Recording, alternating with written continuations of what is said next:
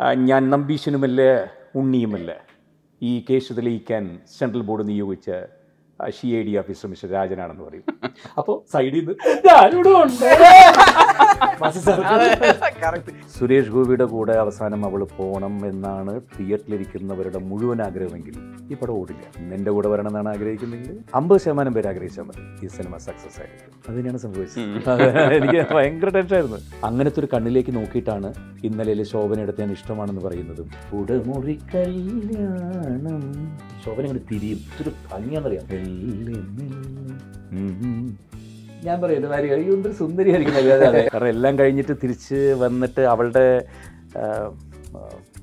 Lipstick പൊട്ടിന്റെയും ഇത് എന്റെ മുഖത്തുണ്ട്. അപ്പോൾ മണിരത്നം പറഞ്ഞു ഇന്ന് തൊട്ട് എനിക്ക് ആറ് മാസം സമയം തരുന്നു. അത്രയും വലിയ വയറ് വേണമെന്ന് പറഞ്ഞു.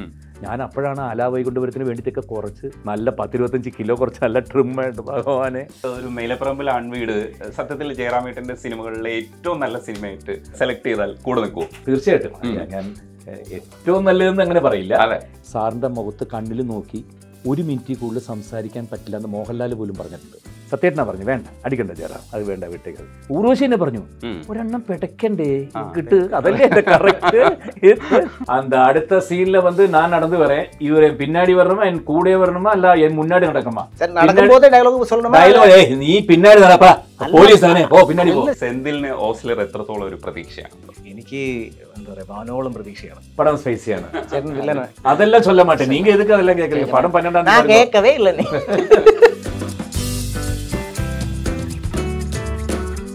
അബ്രഹാം ഓസ്ലറിന്റെ വിശേഷങ്ങളുമായി ജയറാമേട്ടനും സെന്തിലുമാണ് നമുക്കപ്പോൾ ഉള്ളത്. ഹായ് ഹായ് നമസ്കാരം. ഈശ അടിപൊളി. ഒരുപാട് സംവിധായകർ ഇപ്പോൾ പത്മരാജൻ ഭരതൻ സത്യനന്ദിക്കാട് അവസാനം മിഥുൻ മാനുവൽ തോമസിലാണ് എത്തി നിൽക്കുന്നത്.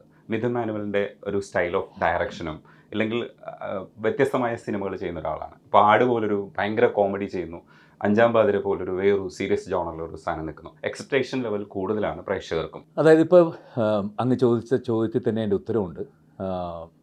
തുടക്കം തൊട്ട് കുറേ ഡയറക്ടേഴ്സിന്റെ കൂടെ വർക്ക് ചെയ്ത് വന്നൊരു പരിചയം വെച്ചിട്ട് ഇപ്പോൾ തുടക്കകാലത്ത് പത്മനാഭ സാറിന്റെ കൂടെ തുടങ്ങിയപ്പോൾ ഒരു ടു സി ക്യാമറ മാത്രമാണുള്ളത്. ആ ടു സി ക്യാമറയുടെ സൈഡിൽ സാറ് നിൽക്കും. സാറിന്റെ മുഖത്ത് കണ്ണിൽ നോക്കി ഒരു മിനിറ്റിൽ കൂടുതൽ സംസാരിക്കാൻ പറ്റില്ല എന്ന് മോഹൻലാൽ പോലും പറഞ്ഞിട്ടുണ്ട്. പുള്ളിയുടെ ഒരു മെസ്ബനൈസ്ഡ് ആണ്. നോക്കുമ്പോൾ ഇങ്ങനെ തന്നെ നോക്കുള്ളൂ. ആ കണ്ണിലേക്ക് നമുക്ക് പെട്ടെന്ന് നോക്കി ഒരുപാട് നേരം നോക്കിയാൽ നമ്മൾ തന്നെ നോക്കിയിട്ട് താഴേക്ക് വരും. അങ്ങനത്തെ ഒരു കണ്ണിലേക്ക് നോക്കിയിട്ടാണ് ഇന്നലെ ശോഭനയെടുത്ത് ഞാൻ ഇഷ്ടമാണെന്ന് പറയുന്നതും. മൂന്നാം പക്കത്തിൽ ഒരുപാട് ഡയലോഗ് നോക്കി പറഞ്ഞതൊക്കെ ക്യാമറയുടെ പുറകിൽ പുള്ളി നീ ഇവിടെ നോക്കിയിട്ട് പറയണം. ഇന്നെ എനിക്ക് ഇഷ്ടമാണെന്ന് ഓക്കെ. അത് നോക്കിയാണ് പറയുന്നത് അപ്പം കിട്ടുന്നൊരു ധൈര്യമില്ലേ? ഭഗവാനെ നോക്കിയാതെ നോക്കാതെ അപ്പോൾ തൊട്ടടുത്തിരുന്ന് നമ്മളുടെ ഓരോ മൂമെൻസും കട്ട് കണ്ണ് ചെറുതായിട്ടൊന്ന് തോന്നുന്നു കുറച്ചുകൂടി ഷാർപ്പായിട്ട് എന്നെ നോക്കിയപ്പോൾ അതിനകത്ത് നമുക്കൊരു ഇതുണ്ടായിരുന്നു. അതിനുശേഷം കാലഘട്ടങ്ങൾ മാറിയപ്പോൾ ഡയറക്ടർ ഇതിന്റെ സൈഡിൽ നിന്ന് പോയി. വ്യൂ ഫൈൻഡറിന്റെ ഫ്രണ്ട് മറ്റേതിനായി സ്ക്രീനിന്റെ അവിടെയായി.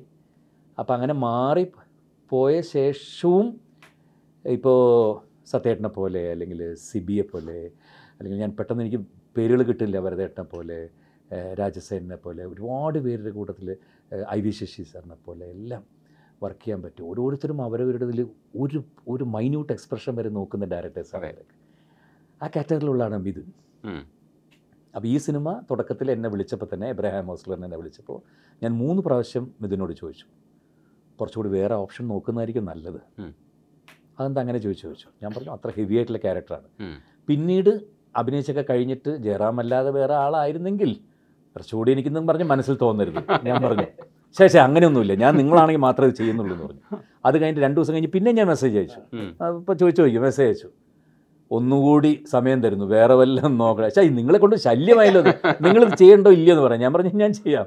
അങ്ങനെയാണ്. അപ്പം ഞാൻ പുള്ളിയോട് പറഞ്ഞു "ആ, ഇതിനകത്ത് ഞാൻ എടുക്കേണ്ട ഒരു ഒരു മെന്റൽ പ്രിപ്പറേഷൻ എന്തൊക്കെയാണ്? അപ്പോൾ പുള്ളി ഇങ്ങനെ പറഞ്ഞു ഹോസ്റ്റലർ ഇപ്പോഴത്തെ ഹോസ്റ്റലർ കറണ്ട് ഹോസ്റ്റലർ എന്ന് പറയുന്നത് ജീവിതത്തിൽ ഒരുപാട് പ്രശ്നങ്ങൾ അഭിമുഖീകരിച്ച് ലൈഫിൽ ഒരാൾക്കും സംഭവിക്കാൻ പാടില്ലാത്ത സംഭവങ്ങൾ സംഭവിച്ച് ഒരു ഭ്രാന്തിലേക്ക് എത്തിയിട്ടില്ല എന്നുള്ള ഇതിലെ അവസ്ഥയിൽ ഒരാളാണ്. അങ്ങനെ ഒരു രൂപം വേണം. ഒരുപാട് സംഗതികളിലൂടെ കടന്നു പോയവരാണ്ട് പാസ്റ്റായിട്ട് വേറൊരു ഇത് വേണം. അപ്പം അങ്ങനത്തെ ഒരു രണ്ട് രൂപങ്ങൾ വേണം. പിന്നെ ഓസ്ലർ എന്ന് കേൾക്കുമ്പോൾ തന്നെ ഞാൻ ആക്ഷൻ പടമാണ് ചോദിച്ചു. അല്ലേ അല്ല. ഇത് ആക്ഷൻ ഇതൊരു മെഡിക്കൽ ത്രില്ലറാണ്. തുടക്കം തൊട്ട് അവസാനം വരെ സിഗ്സാക്കിൽ എന്ത് പോണു പോണു പോണു പോണു ഓരോ സ്ഥലത്ത് ഓരോ കഥാപാത്രങ്ങൾ വരിക വരിക വരിക വരിക അങ്ങനെ കോർത്തിണക്കി കൊണ്ടുപോയിട്ടില്ല.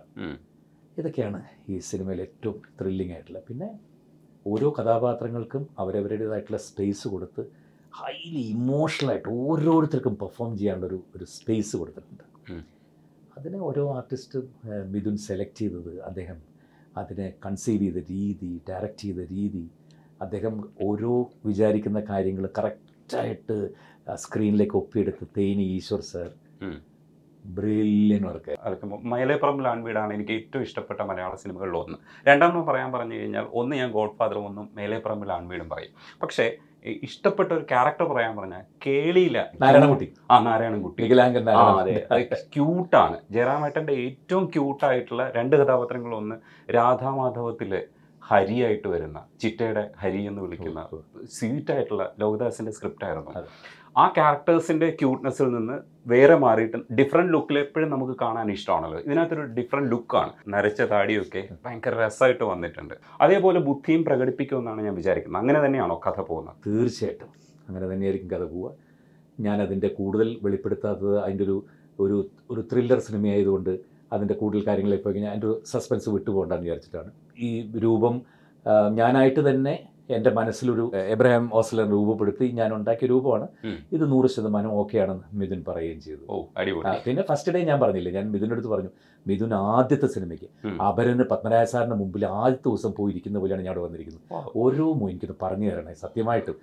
അത് കഴിഞ്ഞിട്ട് അപ്പോൾ ഫസ്റ്റ് ഡേ ഒരു നയന്റി പെർസെന്റ് ഓക്കെയാണ്. ബാക്കി കണ്ണുങ്ങൾ പിടിച്ചോളൂ. ആ കണ്ണ് അത് വേണ്ട. ഇങ്ങനെ നടന്നോളൂ ഇങ്ങനെ ചെയ്തോളൂ ഇങ്ങനെ ചെയ്തോളൂ. സെക്കൻഡ് ഡേ തൊട്ട് എല്ലാം ഓക്കെ ആണെന്ന് പറഞ്ഞു. ഇതിന് വേണ്ടിയിട്ട് ഭയങ്കരമായിട്ട് ഹാർഡ് വർക്ക് ചെയ്തിട്ടുണ്ട്. ഇതിൽ ഫസ്റ്റ് ഷെഡ്യൂളിൽ വന്നപ്പോൾ നല്ല തടിയായിരുന്നു. സെക്കൻഡ് ഷെഡ്യൂളിൽ ഒരു പതിനഞ്ച് ദിവസത്തെ ഗ്യാപ്പ് കൊണ്ട് ജയറാമേട്ടിന്റെ എത്ര കിലോമീറ്റർ കുറഞ്ഞ് കുറെ കുറഞ്ഞു അമ്മ ഒരു ഞെട്ടിച്ച് കളഞ്ഞത്. ഉം, സിനിമ കാണുമ്പോൾ മനസ്സിലാവും. സെന്തിലിനെ സാധാരണഗതിയിൽ രാജീവ് സ്കൂൾ സിനിമകളിലെല്ലാം ഉണ്ട്. തുറമുഖത്തിലുണ്ട്. കുറ്റവും ശിക്ഷയിലുണ്ട് ആ, സിനിമകളുടെ ഭാഗമാവുന്നത് ഒരു ഭാഗ്യമാണ്. പക്ഷെ കുറ്റവും ശിക്ഷയും ഈ പറയുന്നത് പോലെ കമേഴ്സ്യലി സക്സസ് ആയിട്ടില്ല.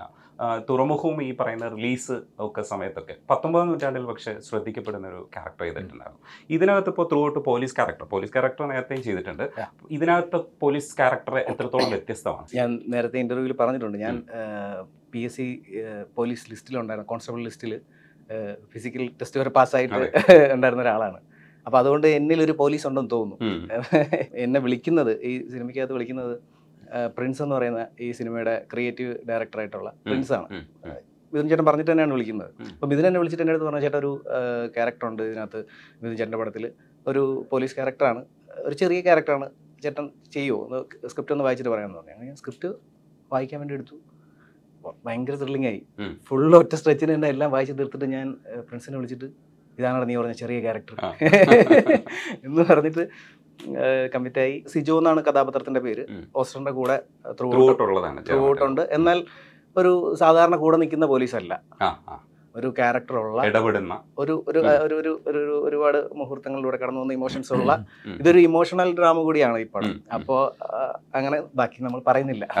ഡയറക്ടറും പറഞ്ഞിട്ടില്ല ത്രൂ ഔട്ട് കൂടെ നിൽക്കുന്ന പോലീസാണെന്നാൽ ആ, അങ്ങനെയല്ല എന്ന് പറഞ്ഞില്ലേ. പണ്ട് പ്രൈം മിനിസ്റ്ററിന്റെ കൂടെ. ബാസി. ആ, പോലീസായിട്ട് ത്രൂ ഔട്ട് കോൺസ്റ്റബിൾ ആയിട്ടുള്ള ത്രൂ ഔട്ട് കൂടെ ഉണ്ടാവും. പക്ഷേ നെസസറി പല വേഷത്തിൽ വരും. പല വേഷത്തിൽ വന്ന് ഒരു ചെറിയ മീശയൊക്കെ ഉണ്ടാവുള്ളൂ. ഒരു ഉണ്ണി ഉണ്ടാവും. അതെ അതെ. പലർക്കും മാറിപ്പോയി മാറിപ്പോയി മാറിപ്പോയി. ലാസ്റ്റ് വെരി എന്റെ ആ കൊള്ളസംഘത്തിലേക്ക് വരില്ലേ? ആ. ആ ഫൈറ്റ് കഴിയുമ്പോഴാണ് സാർ മീശ എടുക്കുള്ളൂ. മീശ ഇങ്ങനെ എടുത്ത വഴിക്ക് ഓരോരുത്തരും പല കാര്യം പറയും. അയ്യോ ഇത് നമ്മുടെ നമ്പീശനല്ലേ? അല്ല ഇത് നമ്മുടെ മറ്റേ ആളല്ലേ ഇത് നമ്മുടെ ഇന്നയാളല്ലേ ഇങ്ങനെ ഞാൻ നമ്പീശനുമല്ല ഉണ്ണിയുമല്ല? ഈ കേസ് തെളിയിക്കാൻ സെൻട്രൽ ബോർഡ് നിയോഗിച്ച C I D officer mister രാജനാണെന്ന് പറയും. അപ്പോൾ സൈഡിൽ നിന്ന് ഞാനിവിടെ ഉണ്ട്.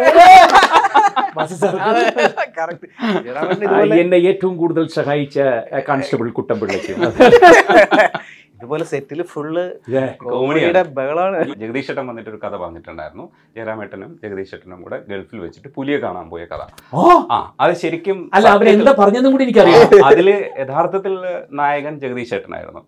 ജഗദീഷ് പറഞ്ഞപ്പോ? ആ പറഞ്ഞപ്പോ. അതൊന്നും എനിക്ക് കഥ കേൾക്കണേ. എന്നിട്ട് ഞാൻ ബാക്കി പറഞ്ഞുതരാം. ആ കഥ ഞാൻ പറഞ്ഞുതരാം. അതായത് അവിടെ പുലിയുടെ മുമ്പ് കാൽ വെക്കുന്നു കാൽ വെക്കുന്ന സമയത്ത് പുലി ഇങ്ങനെ കാൽ. അമർത്തുമ്പോൾ നഖം അമരുന്നു. അപ്പോൾ അതുവരെ ഓക്കെയാണ്. കൂളായിട്ട്. കൂളായിട്ട് അവരോട് പറയണം ഇത് സംഭവമാണ് അത് അമർത്തും അതുകൊണ്ട് റെഡി ആക്കണം റെഡിയാക്കണം എന്നാണ് കഥ.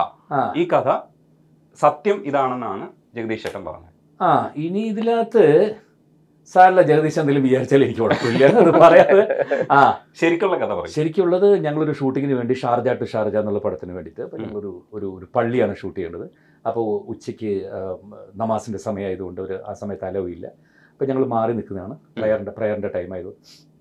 ചുമ്മാ ഷാഡോയ്ക്ക് വേണ്ടിയിട്ട് ഒരു മരത്തിന്റെ തണലിൽ ഇങ്ങനെ നിന്നിട്ട് ഞാനിങ്ങനെ എത്തി നോക്കിയപ്പോൾ ഒരു മൂന്ന് പുലി കിടക്കണോ വീട്ടിൽ പുലി മീൻസ് ആഫ്രിക്കൻ ചീറ്റയിൽ. ദറ്റ്ലാം അപ്പോൾ ദൈവമേ ഞാൻ വേഗം എല്ലാവരും വിളിച്ചു. നോക്ക് നോക്ക് നോക്ക് എന്ന് വിളിച്ചു. അപ്പോഴത്തേക്ക് മൂന്നെണ്ണം അവിടെ കിടപ്പുണ്ട്. അവർ വളർത്തുന്നതാണ്. അവിടെ അലൗഡാണ് ഒരു ഷേക്ക് ഫാമിലീസിലൊക്കെ വളർത്താൻ അലൗഡാണ് പിന്നെ ഞാൻ ആ വഴി ഒന്ന് ചോദിക്കും ചോദിക്കും ഒരു ഫോട്ടോ എടുക്കാൻ പറ്റുമോ ചോദിച്ചു ചോദിച്ചു അവസാനം അവർ സമ്മതിച്ചിട്ട് രണ്ട് കുട്ടികളും ഒരു അമ്മയാണ്. ആ മദറിനെ മാത്രം അവർ അകത്തേക്ക് കൊണ്ടുപോയി. അധികം ആൾക്കാർ പാടില്ല. അങ്ങനെ അവസാനം പെർമിഷൻ ഞാൻ ജഗദീഷും മാത്രം.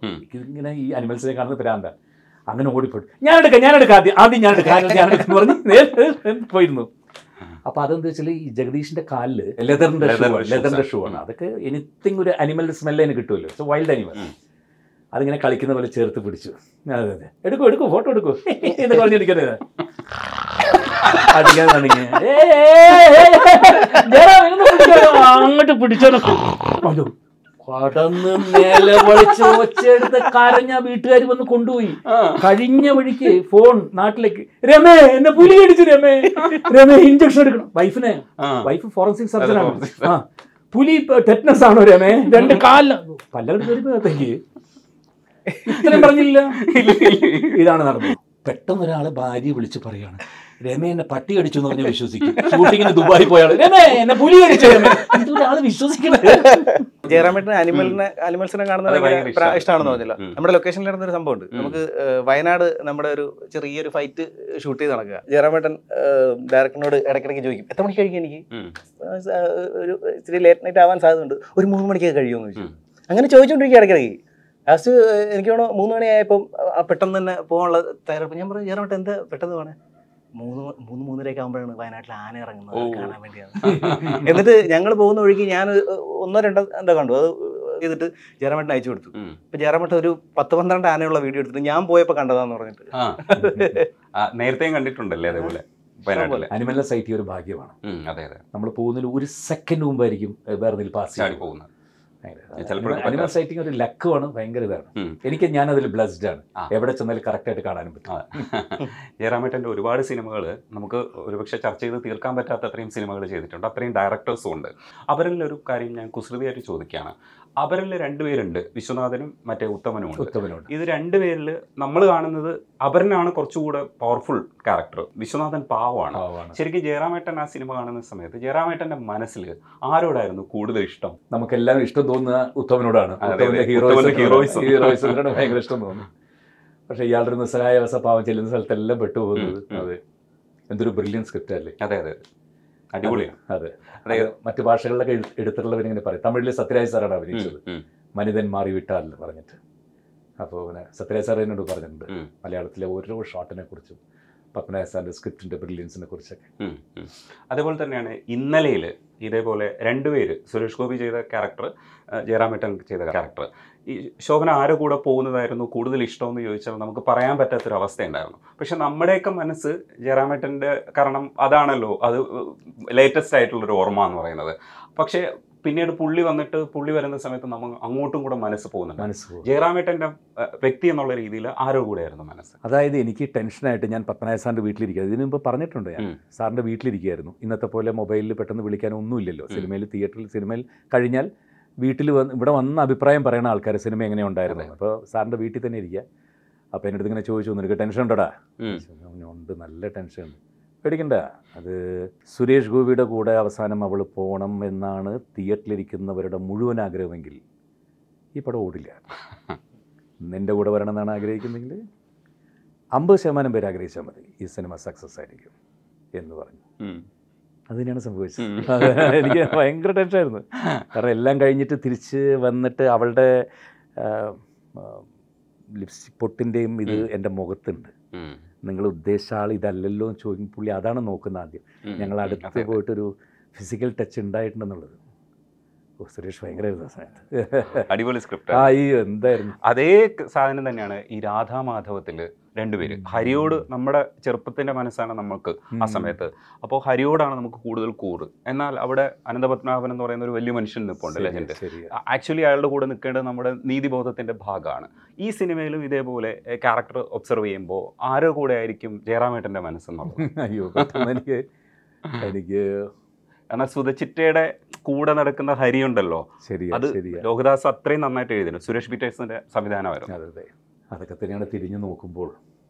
ഏറ്റവും ബ്ലെസ്ഡ് ആയിട്ടുള്ള ഒരു തേർട്ടി ഫൈവ് ഇയേഴ്സ് നമുക്ക് തന്നതിൽ തിരിഞ്ഞു നോക്കുമ്പോൾ അതൊക്കെ സാറിന്റെ കൂടെ ഭരതേട്ടന്റെ കൂടെ അല്ലെങ്കിൽ ലോഹിയുടെ എത്ര സ്ക്രിപ്റ്റുകൾ വർക്ക് ചെയ്യാൻ സാധിച്ചത്? ജോൺസന്റെ എത്ര പാട്ടുകൾ പാടി അഭിനയിക്കാൻ സാധിച്ചു? അതൊക്കെ തിരിഞ്ഞു നോക്കുമ്പോൾ എത്ര യേശുദാസിന്റെ ഗാനമേളയ്ക്ക് പോയിട്ട് ദൂരെ നിന്ന് നോക്കി ഇങ്ങനെ ഷൺമുഖാനന്ദ ഓഡിറ്റോറിയത്തിൽ ബോംബെ. അവിടെ ഞാനിങ്ങനെ ഓ ഈ ഗന്ധർവ ശബ്ദം ഇത് എവിടെ നിന്ന് വരുന്നു ഭഗവാനെ ഇതിലൊക്കെ പാടി അഭിനയിക്കാൻ കിട്ടുന്ന എന്തൊരു ഭാഗ്യമാണ്. ഒരു വരിയെങ്കിലും എനിക്ക്. നൂറുകണക്കിന് പാട്ട് ശബ്ദത്തിൽ പാടി അഭിനയിക്കുക അതാണ് നമ്മുടെ അടിപൊളിയാണ്. അതാണ്. ഇതേ കാറ്റഗറിയിൽ വരുന്ന ഒരു ചോദ്യം കൂടെ ഓ. കുസൃതി ചോദ്യമായിട്ട് ചോദിക്കുന്നത് പൊന്മുട്ട് കുട്ടികളായിരുന്നു പൊന്മുട്ടയിടുന്ന താറാവിൽ ശരിക്കും പറഞ്ഞു കഴിഞ്ഞാൽ ആ ക്യാരക്ടർ രണ്ടും ഇപ്പൊ തട്ടാം ഭാസ്കറിനോട് നമ്മുടെ മനസ്സുകൊണ്ട് ഒരു അടുപ്പുണ്ടെങ്കിലും അടുപ്പമുണ്ടെങ്കിലും പെങ്കൊച്ച് തട്ടിപ്പും വെട്ടിപ്പും ഒക്കെയാണ് ജയറാമേട്ടൻ ശരിക്കും കുറച്ചുകൂടെ നീതിബോധമുള്ള ഒരാളാണ്. പക്ഷേ ഇവർ രണ്ടുപേരുടെയും ക്യാരക്ടറല്ലേ? ഉർവശി ചേച്ചിയുടെയും ഭാസ്കരന്റെ ആ ഭാസ്കരന്റെ തട്ടാൻ ഭാസ്കരന്റെ ഇതിലേതിനോടായിരുന്നു കൂടുതൽ യോജിപ്പ്? ഒന്നും ഭാര്യയാണ്. ഭാര്യ ചെയ്ത ഒരു ഭാവം ഭയങ്കരമായിട്ടുള്ള ഇതാണ്. ആ സിനിമയുടെ ലാസ്റ്റ് ഫൈനൽ ഷൂട്ട് ചെയ്യുന്നതിന് മുമ്പ് കുറേ നേരം എഴുതി വെച്ചിരിക്കുന്നതും രഘുനാഥ് പലേരി എഴുതിയതിലുമെല്ലാം ആ, ഉർവശി കിട്ടി ഞാൻ വന്നിട്ട് ലാസ്റ്റ് വന്നിട്ട് ഒരൊറ്റ അടി കൊടുത്തിട്ട്. ബാക്ക് ചെയ്ത്. ഉറുവശി ആ അടി വെയിറ്റ് ചെയ്ത് ഇങ്ങനെ ഇരിക്കുന്നുണ്ട്. ഇങ്ങനെ ഇരിക്കുന്നുണ്ട് അപ്പോൾ അപ്പോൾ പിന്നെ സത്യമായിട്ട് ഇങ്ങനെ ചോദിച്ചു എന്തിനാ ഒരു അടിക്കണം? അപ്പോൾ അത് വേണം ഒരു. ആ ക്ഷമിച്ച് കളയുന്നതല്ലേ പവിത്രന്റെ ഇത്. അതിൽ ഡിസ്കഷൻ രണ്ട് മൂന്ന് മണിക്കൂർ ഉണ്ടായിരുന്നു സത്യേട്ടനാ പറഞ്ഞു വേണ്ട അടിക്കണ്ട ചേട്ടാ അത് വേണ്ട വിട്ടേക്കത് ഊർവശി തന്നെ പറഞ്ഞു ഒരെണ്ണം പെടക്കണ്ടേ കിട്ട് അതല്ലേ എന്റെ കറക്റ്റ് അതിനൊരു സാധ്യത വെച്ചു. ഈ പെരുണാപുരത്തെ വിശേഷങ്ങളും. ആഹാ നമ്മൾ പഴയ ശുഭയാത്ര. ഇത് വിടാൻ പറ്റില്ല. ശുഭയാത്ര എന്ന് പറഞ്ഞാൽ ആ താക്കോൽ കളഞ്ഞു പോകുന്ന സംഭവമൊക്കെ ഇല്ലേ? അന്നത് പാർവതിയും കൂടെ ചേർന്ന് നിന്ന ഒരു സാധനമാണ്. ആ ആ ചിത്രമൊക്കെ നടക്കുന്ന സമയത്താണ് നിങ്ങളുടെ ഒരു റിലേഷനോട് പോകുന്നത്. ഒരുപാട് വട്ടം ആവർത്തിച്ചിട്ടുണ്ട്. പക്ഷേ ഈ സിനിമകളൊക്കെ നമുക്ക് ഇനിയും മറക്കാൻ പറ്റാത്ത സിനിമകളായിട്ട് നിൽക്കുകയാണ്. ആ ടൈമിലൊക്കെ ഉണ്ടായിരുന്ന ജയറാമേട്ടനുണ്ട്. ഇപ്പോൾ തൊണ്ണൂറ് മുതൽ രണ്ടായിരം വരെ നിൽക്കുന്ന ഒരു കത്തി നിൽക്കുന്ന ഒരു സ്ഥലമുണ്ട്. ഇതിലെന്ന് പറഞ്ഞാൽ ഒരുപാട് ഡയറക്ടേഴ്സ് ഉണ്ട്. ഇപ്പം നമ്മൾ ഈ പറയുന്ന രാജസേൻ എന്ന് പറയുന്ന യുഗം തന്നെ നിങ്ങൾ ഒരുപാട് C D. Unnikrishnan B A B എട്ട് അതിലത്ത് അയലത്ത് അദ്ദേഹം ഇങ്ങനെ ഒരുപാട് സിനിമകൾ ചെയ്തുകൊണ്ടിരിക്കുന്നുണ്ടായിരുന്നു. ആ കാലഘട്ടത്തെ ഇട- ഇടയ്ക്കെങ്കിലും ഇങ്ങനെ ഓർക്കുമോ ഇങ്ങനെ ഒരു ഇറ. തീർച്ചയായിട്ടും. അതൊക്കെ ഏറ്റവും ഫ്ലറിഷ്ഡ് ആയിട്ടുള്ള ടൈമായിരുന്നില്ലേ അത്ര നല്ല ഡയറക്ടേഴ്സിന്റെ കൂടെ അത്ര നല്ല റൈറ്റേഴ്സിന്റെ കൂടെ ഒരു സിനിമയിൽ നാലും അഞ്ചും പാട്ടുകളുണ്ടാവും. അതിലേറ്റവും നല്ല പാട്ടുകൾ ഏറ്റവും ലൊക്കേഷനിൽ പറ്റിയ ഇടയ്ക്കിടയ്ക്ക് ഈ പഴയ സിനിമകളുടെ സെറ്റിലെ കാര്യങ്ങളൊക്കെ പറയും പഴയ അതാണ് സിനിമ ഏറ്റവും ബ്ലസ്ഡ് ആയിട്ടുള്ള പീരീഡ് തന്നെയായിരുന്നു അത്. ഈ കൊട്ടാരം വീട്ടിലെ അപ്പൂട്ടലിലെ പാട്ടൊക്കെ നമ്മൾ ഇപ്പോഴും ആവണി പിന്നെ. ജയറാമേട്ടന്റെ ഒരു ഒരു പ്രത്യേകതകളിലൊന്ന് നമസ്കാരം എന്ന് പറയുന്ന സാധനമുണ്ട്. ഞാനിടയ്ക്ക് കൈതപ്രസാറിന്റെ ഒരു ഇന്റർവ്യൂ ചെയ്യുന്ന സമയത്ത് ഈ സുമുഹൂർത്തമായ സ്വസ്തിയിൽ സീത വിട ചൊല്ലും ഈ വേളയിൽ എന്ന് പറഞ്ഞിട്ട് സുമുഹൂർത്തമായി സ്വസ്തി എന്ന് പറയുന്നില്ലേ? ഈ സ്വസ്തി ശരിക്കും സീത പറഞ്ഞത് ജയറാമേട്ടനൊക്കെ പറയുന്നത് പോലെ നമസ്കാരം. കാരണം എന്ന് വെച്ചാൽ അത് പൊക്കോട്ടെ ഇതിലും വലിയ സ്ഥലം ഇല്ല. കാരണം ആത്മഹത്യ ചെയ്യാൻ പോകുന്ന സീതയാണ് എല്ലാവരോടും പറയുന്നത്. ഞാൻ പൊക്കോട്ടെ എന്ന് പറയുന്നത്. അത് ജയറാമേട്ടൻ പറയുന്നത് നമസ്കാരമാണെന്ന് പറയുമ്പോൾ കൈതപ്രസാദ് പറഞ്ഞു ശരിയാണെന്ന് പറഞ്ഞു. അതെന്തോ അങ്ങനെ വരും കേട്ടോ. അത് ഒരു സെറ്റിൽ പോയാൽ അങ്ങനെ വന്ന് ഈ പടത്തിൽ മിഥുൻ അത് തന്നെയാണ്. അയ്യാ നമസ്കാരം. അതൊരു സിഗ്നേച്ചറായി മാറിക്കഴിഞ്ഞു അല്ലേ? എന്തോ ചിലപ്പോ സെന്തിലുമായിട്ട് ഞാൻ ഈ പടത്തിന് വന്ന അന്ന് തന്നെ സെന്തിലിന്റെ വീട് എവിടെയാ? മറ്റേതൊക്കെ സംസാരിച്ച് സംസാരിച്ച് പിന്നെ ഞങ്ങൾ നമ്മൾ തമിഴിലാണ് സംസാരിക്കുക. ആ. അതിപ്പോഴും തമിഴ് ഇനി എനിക്ക് തോന്നുന്നു ഈ ഇന്റർവ്യൂവിന് വേണ്ടി മാത്രം മലയാളത്തിൽ പള്ളിച്ചലല്ലേ ശരിക്കും സ്ഥലം. ബാലവരം കഴിഞ്ഞു കഴിഞ്ഞാൽ പിന്നെ ബാലവരം കഴിഞ്ഞു കഴിഞ്ഞാൽ പിന്നെ നമ്മൾ തമിഴ് കുറച്ച് തമിഴ് കുറച്ച് പഠിക്കുക. പിന്നെ ജയറാമേട്ടൻ ആദ്യം തമിഴ് സംസാരിച്ച് തുടങ്ങും സെറ്റിൽ പിന്നെ അത് അസോസിയേറ്റിലേക്ക് അങ്ങനെ ഇങ്ങനെ ഡയറക്ടർ എല്ലാവരും ആവും. ലാസ്റ്റ് ഈ ചായ കൊടുക്കുന്ന ആള് ഒരു അയ്യാ ടീ അങ്ങനെ ആവും ഇല്ല, മിഥുൻ മിഥുനുമായിട്ട് എല്ലാം അവിടെ തമിഴ് സംസാരിച്ചു വന്നു അത് എ- എങ്ങനെയാ അതിന്റെ ത- അത് തേനി സാറ് ഉം. തമിഴാണല്ലോ ആ. അപ്പൊ സാ- ആ സാ- അങ്ങനെ തുടങ്ങിയതാണ് തുടങ്ങിയതാണ്. ടെനിസ് സാർ തമിഴായതുകൊണ്ട് തേനി സാറിനോട് ഒരു ഒന്ന് സംശയം സെന്തിൽ ചോദിക്കും എന്തെങ്കിലും ജയറാമേട്ടൻ ആ കോൺവെർസേഷൻ ഒന്ന് കാണാൻ വേണ്ടി அப்படி இல்ல ஒண்ணும் இல்ல. அப்படியெல்லாம் கிடையாது ஆஹ், ஐயா மிதுன் அந்த அடுத்த சீன்ல வந்து நான் நடந்து வரேன். இவர் என் பின்னாடி வரணுமா? என் கூட வரணுமா? இல்ல என் முன்னாடி நடக்குமா? நடக்கும்போது டயலாக் சொல்லணுமா? ஏய் நீ பின்னாடி தானப்பா போலீஸ் தானே போ பின்னாடி இல்ல சார் நான் அது கேக்கட்டுமே சரி கேளுங்க அதுதான் இங்க எந்தையும் சொல்றேன். அவிடுന്ന് நீங்கள் நான் சொல்லி தரேன் நீங்க முன்னாடி நடக்கட்டும். செந்தில் கொஞ்சம் பின்னாடி நடாங்க ഉം. ஒரு அடி பின்னாடி போப்பா அதுதான் அங்க நடா ஓகே ഓസ്ലറെ കുറിച്ച് പറയുമ്പോൾ മിഥുനെ കുറിച്ച് ഒരു എക്സ്പെക്ടേഷൻ ഉണ്ട് മലയാളികൾക്ക് ഏഹ് പടം ചെയ്തു കഴിഞ്ഞാൽ നന്നായിട്ട് ചെയ്യും എന്നുള്ളൊരു എക്സ്പെക്ടേഷൻ ഉണ്ട് ഏഹ് പടം കണ്ടോ എന്താണ് അതിന്റെ ഒരു അവസ്ഥ ഞാൻ സിനിമ കണ്ടു ഉം. ഡബ് ചെയ്യുമ്പോൾ കണ്ടു അപ്പോൾ കണ്ട് ഡബ് ചെയ്യുമ്പോൾ കണ്ടതാണ് ഭയങ്കരമായിട്ടുള്ള ത്രില്ല് തന്നെയാണ് പിന്നെ പല സീനുകളും ഞാൻ ഡബ് ചെയ്യുമ്പോൾ തന്നെ ഒരു പ്രാവശ്യം കൂടി ഇട്ട് കാണിക്കുമെന്ന് വയ്ക്കും ഉം. കാണിക്കില്ല. ശരി ലാസ്റ്റ് ഞാൻ തിയേറ്ററിൽ കണ്ടോളാം എന്ന് പറയും. എനിക്കൊരു കാര്യം കൂടെ ചോദിക്കാനുള്ളത്. ഈ ചില കാലഘട്ടത്തിൽ ചില സാങ്കേതികത ഉണ്ടാവാതിരുന്നൊരു കാലഘട്ടമുണ്ട്. ഈ മാളൂട്ടിയുടെ സിനിമയുടെ ചിത്രീകരണം നടക്കുന്ന സമയത്ത് അത്തരം ഒരു ടെക്നിക്കൽ പെർഫെക്ഷനോടുകൂടി ആ സിനിമ ചെയ്യാൻ പറ്റുന്ന സംവിധാനങ്ങൾ നമുക്ക് ഉണ്ടായിരുന്നില്ല അതേപോലെ ടി കെ രാജീവ് കുമാറിന്റെ ചാണക്യൻ കമലഹാസനുമായിട്ട് ചെയ്യുന്ന സമയത്ത് വലിയൊരു ടെക്നോളജി സാധനമാണ് നമ്മളെ കാണിച്ചു തരുന്നത് ഇന്ന് പോലും അത്തരത്തിലുള്ള കഥകൾ നമ്മൾ പക്ഷേ ആ സിനിമ ഇന്നും കാണാൻ പറ്റുന്ന രീതിയിലാണ്. അതിന്റെ ടെക്നോളജിക്കൽ നോളജ് വെച്ചിട്ടാണ് ആ സിനിമ. ഈ രണ്ട് ആ ആ സിനിമകളൊക്കെ ചെയ്തിരുന്ന അതുല്യമായ പ്രതിഭകളാണ് അവരൊക്കെ. ശരിക്കും മാളൂട്ടിയുടെ സെറ്റിൽ നിങ്ങളത് ചെയ്യുന്ന സമയത്ത് ഇത്രയും വലിയൊരു സക്സസ് ആകുമെന്ന് നമ്മൾ ഇന്നും റെഫറൻസ് സിനിമയാണത്. എങ്ങനെയായിരിക്കും അത് ചെയ്തത്? അന്ന് ആ ചെയ്ത ഒരു എക്സ്പീരിയൻസ് പറയാമോ? ഭരതേട്ടന്റെ കൂടെയൊക്കെയുള്ള എക്സ്പീരിയൻസ് തന്നെ പറഞ്ഞാൽ പറഞ്ഞാൽ പറഞ്ഞാൽ തീരില്ല. അത്ര വലിയ കലാകാരന്മാരല്ലേ അവരൊക്കെ? ബേസിക്കലി ഭരതേട്ടൻ എന്നൊക്കെ പറഞ്ഞാൽ ഭരതേട്ടൻ ഒരു പെയിന്ററാണ് ഉദയ സ്റ്റുഡിയോയിൽ ആർട്ട് വർക്ക് ചെയ്തുകൊണ്ടിരുന്നതാണ്. സെറ്റ് മുഴുവൻ അന്ന് പെട്ടെന്ന് കളർ മാറ്റണം. പഴയ പ്രേം നസീറിന്റെ പടത്തിനെ പറഞ്ഞാൽ അതിന്റെ ബാക്കിൽ ആർട്ടിൽ വർക്ക് ചെയ്തതാണ് അപ്പോൾ ഓരോ ഓരോ ഷോട്ടും പെയിന്റിങ് പോലെയാണ്. ഭരതേട്ടൻ ആദ്യം ഇങ്ങനെ വന്ന് നോക്കും. ഭരതേട്ടന്റെ സിനിമയിലാണ് ഹീറോയിൻസ് ഏറ്റവും കൂടുതൽ ഭംഗിയായിരിക്കും കണ്ടിട്ടുണ്ടോ? ഇപ്പോൾ ശോഭന എത്രയോ സിനിമകളിൽ അഭിനയിച്ചിട്ടുള്ളൂ പുടമുറി കല്യാണം ശോഭന ഇങ്ങനെ തിരിയും. ഇതൊരു ഭംഗിയാണെന്നറിയാം അതേപോലെ മിന്നാമിനിങ്ങനെ നുറുങ്ങുമായിട്ട്. മെല്ലെ മെല്ലെ. ഞാൻ പറയും ഭാര്യ അയ്യോ എന്തൊരു സുന്ദരിയായിരിക്കും. എല്ലാ ഹീറോയിൻസും പറയും. അതേപോലെ കേളി പറഞ്ഞില്ലേ? താരം വാൽക്കണ്ണാടി നോക്കി. അത് മേക്കപ്പ് ഒന്നുമില്ല ഒരു വലിയ പൊട്ടും കൊടുക്കും. ആ കുളിപ്പിനിലൊക്കെ ആയിട്ട് പുറകിൽ ചാർമിളെ ആ. ഭയങ്കരമായിരിക്കും. അത് ഒരു ബേസിക്കലി ഒരു ആർട്ട് ഒരു പെയിന്റർ എല്ലാം ഉണ്ട്. നോക്കിയാൽ അവരുടെ മുഖത്തിന്റെ ഏത് ആംഗിളാണ് ഏറ്റവും ഭംഗി എന്നുള്ളത് പറയട്ടെ. ഇങ്ങനെ കൊത്തിയെടുക്കുന്നത്. അതിൽ മാളൂട്ടിയെ വരച്ചിരിക്കുന്നത് അത് തന്നെ പരതേട്ടൻ തന്നെ. ശ്യാമിലിയുടെ ഫസ്റ്റ് പടമാണ്. ഇവിടെ അഭിനയിക്കുമ്പോഴാണ് ശ്യാമിലി മറ്റേതിനു വേണ്ടി തയ്യാറെടുക്കുന്നത്. മണിരത്നത്തിന്റെ ആ പടം എനിക്ക് പെട്ടെന്ന് പേര് മറന്നുപോയി.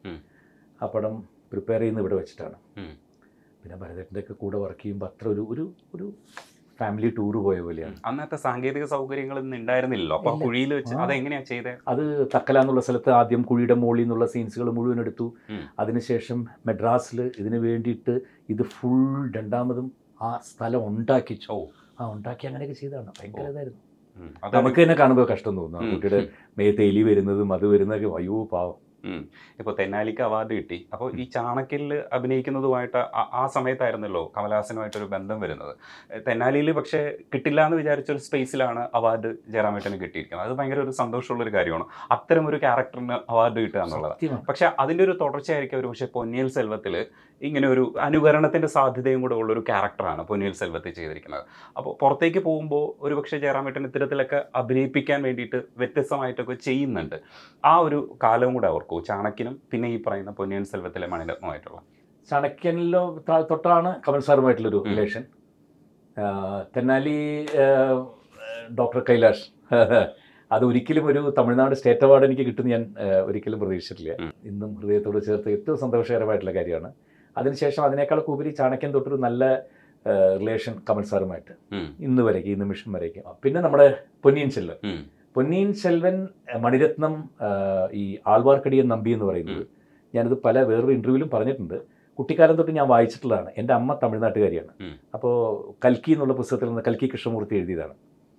അപ്പോൾ കുട്ടിക്കാലത്ത് എനിക്കിങ്ങനെ ഈ കഥകൾ മുഴുവൻ തമിഴിൽ വായിച്ച് കഥ പറഞ്ഞു തരുമ്പോൾ പൊന്നിയിൻ ചെൽവന്റെ കഥ പറഞ്ഞു തരും. രാജരാജ ചോഴന്റെ കഥ. ഫുള്ളായിട്ട് തഞ്ചാവൂരിന്റെ കഥ തഞ്ചാവൂർ ബൃഹദീശ്വര ക്ഷേത്രത്തിന്റെ കഥ അതുമായിട്ട് ബന്ധപ്പെട്ട് വന്നതുമില്ല. അപ്പോൾ എന്റെ അടുത്ത് എപ്പോഴും പറയും ഏറ്റവും രസകരമായ കഥാപാത്രം ജയറാമി തന്നെ വിളിക്കുക. ജയറാമി ഇതിൽ എന്റെ ഏറ്റവും ഇൻട്രസ്റ്റിംഗ് എന്ത്? ആൾവാർക്കടി നമ്പി ആഹാ ഹാ അത് എவ்வளோ വായിച്ചാലും പഠിച്ചാലും പോരാന്ന് പറയും. ആ പിൽക്കാലത്ത് എനിക്ക് ചെയ്യാനുള്ള ഭാഗ്യമുണ്ട് അതാണ്. അത് മണിരത്ത് വിളിച്ചു. അപ്പോൾ നമ്മുടെ പിഷാരടി ചെയ്തൊരു സിനിമയില്ലേ മലയാളത്തിൽ നമ്മുടെ പഞ്ചവർണ തത്ത? ആ അതിനുവേണ്ടി മുട്ടയടിച്ച രൂപം എടുത്തിട്ട് അതിൽ ഈ കുടുമിയൊക്കെ ഫിക്സ് ചെയ്ത് മടിരത്നം മടിരത്തും ഇതിൽ ചെയ്ത് നോക്കി. അങ്ങനെയാണ് പെട്ടെന്ന്. ഓക്കെ. ആ എന്നെ ഒരു വാൾ മുഴുവൻ ചെയ്ത് വെച്ചിരുന്ന് കാണിച്ചു. പക്ഷെ അതൊരു മോണാക്ടിന്റെ മിമിക്രിയുടെ ഒക്കെ ഒരു സാധ്യതയുള്ള ഒരു നടന് കുറച്ചുകൂടെ അഡാപ്റ്റ് ചെയ്യാൻ എളുപ്പമല്ലേ? അങ്ങനെയല്ലേ അതിനെ നോക്കി കാണാൻ നോക്കി കാണിച്ചാൽ അതിനകത്തുള്ള ഏറ്റവും വലിയ ഒരു ചാലഞ്ചിങ് ആയിട്ടുള്ളത്. നമ്പിയുടെ ഉയരം വളരെ കുറവാണ്. ഓ. നമ്പിക്ക് മാക്സിമം ഒരു അഞ്ചടി ഏഴ് ഇഞ്ചോ ഒക്കെ ഉണ്ടാവാൻ പാടുള്ളൂ. നമ്പി അതിൽ ഭയങ്കര ഹൈറ്റ് കുറഞ്ഞിട്ടുള്ള കഥാപാത്രമായിട്ടാണ് കാണിച്ചിട്ടുള്ളത്. അപ്പോൾ പിന്നെ പെട്ടെന്ന് ഞാനൊരു ആറടി പക്കത്തിന് മുകളിലുള്ള ആളാണ്. അപ്പോൾ അത് പിന്നെ വലിയ വയറാണ് നമ്പിക്ക്. അപ്പോൾ മണിരത്നം പറഞ്ഞു ഇന്ന് തൊട്ട് എനിക്ക് ആറ് മാസം സമയം തരുന്നു. അത്രയും വലിയ വയറ് വേണമെന്ന് പറഞ്ഞു. ഞാൻ അപ്പോഴാണ് ആലാ വൈകുണ്ഠപുരത്തിന് വേണ്ടിയിട്ടൊക്കെ കുറച്ച് നല്ല പത്തിരുപത്തഞ്ച് കിലോ കുറച്ച് നല്ല ആയിട്ട് ഭഗവാനെ. പക്ഷേ ഈ കഥാപാത്രം ഞാൻ വിട്ടുകളയില്ല ഞാൻ. എങ്ങനെയെങ്കിലും വയറുണ്ടായിക്കോളാം എന്ന് പറഞ്ഞു. പിന്നെ പുള്ളി പറഞ്ഞു ഹൈറ്റിന് എന്ത് ചെയ്യുമെന്ന് ചോദിച്ചു. അപ്പോൾ ഒരു ഒരു ഒരു ഗറില്ല വാക്കുണ്ട് കുറച്ചൊന്ന് നമ്മളെ ഷോർട്ടാക്കി കാണിക്കുന്ന ഒരു ഉം, ഉം. വാക്കുണ്ട് ആ വാക്ക് ഇത് തന്നെ പിടിച്ചോളാം പറഞ്ഞു അങ്ങനെയാണ് അതിലേക്ക് അങ്ങനെയാണ് അത് വന്നത്. ചെയ്തത് അത് അടിപൊളിയായിരുന്നു മേലേപ്പറമ്പിൽ ആൺവീടാണ് നമ്മൾ പറഞ്ഞു തുടങ്ങിയത് അതൊരു മൈൽ സ്റ്റോൺ സിനിമയാണ് ഇല്ലെങ്കിൽ അത് നമ്മുടെ ഞാൻ സിനിമാ മാത്രം ചരിത്രത്തിൽ തന്നെ- എൻ- എന്നെ ഞാൻ மட்டும் பேசிட்டு இருக்கேன் இல்ல நீங்க எல்லா ஏதோ- சினிமா ஆச்சு நீ உங்களுக்கு நான் எட்டு படம் கூட இருக்கு அது கூட கேள்வி അപ്പോ അത് ഒരു മേലപ്പറമ്പിൽ ആൺവീട് സത്യത്തിൽ ജയറാമേട്ടന്റെ സിനിമകളിലെ ഏറ്റവും നല്ല സിനിമയായിട്ട് സെലക്ട് ചെയ്താൽ കൂടെ നിൽക്കുമോ അല്ല അല്ല, അയ്യോ തീർച്ചയായിട്ടും. ഞാൻ- ഏറ്റവും നല്ലതെന്ന് അങ്ങനെ പറയില്ല. ഏറ്റവും നല്ല പത്ത് സിനിമ എടുത്ത് തീർച്ചയായിട്ടും. കാരണം ഒരു കരിയർ ഗ്രാഫിലും ഒരു ഭയങ്കര ചേഞ്ച് ഉണ്ടാക്കി തന്ന സിനിമയാണ്. എവിടെ പോയാലും ഇന്നും കേരളത്തിന് പുറത്തു പോയാലും മറ്റു ഭാഷകളിലുള്ളവർ പോലും എടുത്തു പറയുന്ന നാലഞ്ച് സിനിമകളിലുള്ളൊരു പേരാണ്.